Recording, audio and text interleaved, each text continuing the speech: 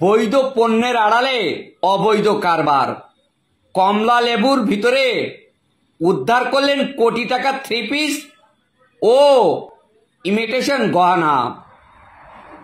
জাতীয় গোয়েন্দা সংস্থার তথ্য মতে, ভারতীয় একটি ট্র্যাক থেকে এ বিপুল পরিমাণ থ্রি পিস উদ্ধার করা হয়।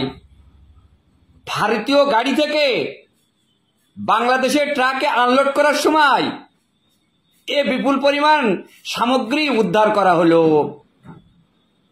কাস্টমস বিভাগ জানিয়েছেন, মেসাস রপি এন্টারপ্রাইজের মাধ্যমে ভারতীয় কমলালেবু নিয়ে আসা হয়। সোমবার বিকালে ভারতের ঘোষাডাঙ্গা থেকে বাংলাদেশে ঢোকে। এরই সাথে ঢোকে বিপুল পরিমাণ অবৈধ পণ্য। জাতীয় গোয়েন্দা সংস্থা এনএসআই বিষয়টি গোপনে জানতে পারে। ওর ভিত্তিতে, এই তত্ত্বর ভিত্তিতে ট্রাকটি আটক করা হয়। আটক করে উদ্ধার করা হয় এই পণ্য। এই ধরনের চোরাচালান ভুমরা বন্ধ দিয়ে অহরহ হয়ে থাকে। মিথ্যা ঘোষণার আড়ালে অবৈধ পণ্য আসছে। এটি রাখুন সমাজের আলোয়।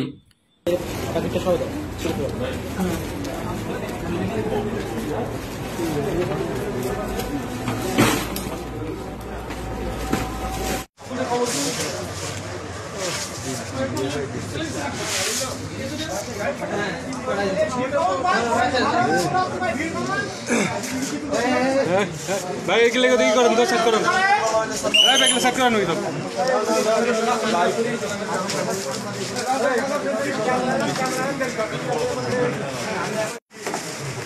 সাংবাদিক কলকাতা টিভি আবার কি তথ্য দিন আবার কি কি আবার কোন কতগুলোর সাথে জড়িত আছে দেন না। মানে আমাকে পেট নাই তাকে পেট কত বড়?